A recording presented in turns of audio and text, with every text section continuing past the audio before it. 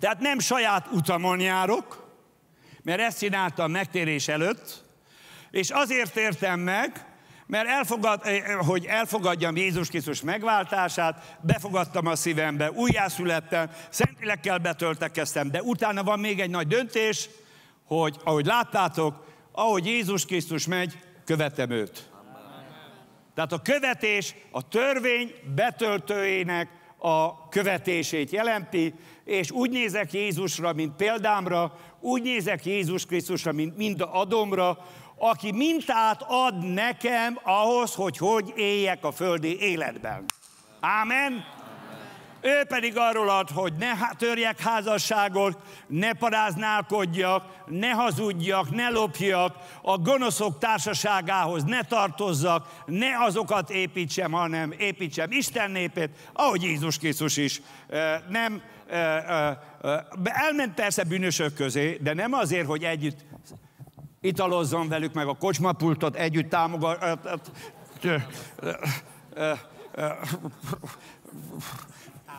Támasszák, köszönöm szépen, hanem azért, hogy kihívja, gyere te Iszákos, gyere ki. Én adok neked jobb italt. Az alkoholnál, rotkánál, pálinkánál, gyere, töltekezz be szent lélekkel. Ne az apád, anyádnak az életmódja után, vagy ne a divatot kövessed, hanem kövess engemet.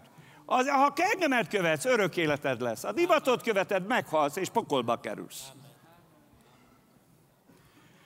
Tehát oda kell szánni magunkat a názert Jézus követésére, ez pedig az kell, hogy olyanok kell lennünk, mint a gyermekek, tehát az elménkbe is hagyni kell, hogy Jézus Krisztusnak gondolkozása, Jézus Krisztusnak az érték, érték felfogása minden területen, érzelmei, akaratai teljesen belépjen. Nem csak a szelleme, hanem a lelkére is nekem szüksége van. Szüksége van. Ki akarom a lelkemet is cserélni, hogy Jézus lelke legyen bennem.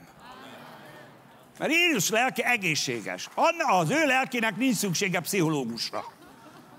Pszichiáterre se szükség. Egészséges az elméje, egészséges az akarata, egészséges az érzelme, semmiféle moly, rozsda nem rágja a lelkét, tele van Isten dicsőségével, ezért a lelkemet is állandóan átadom neki, hogy hátra, abban reménybe is hitbe, hogy egy jobb lelket kapok.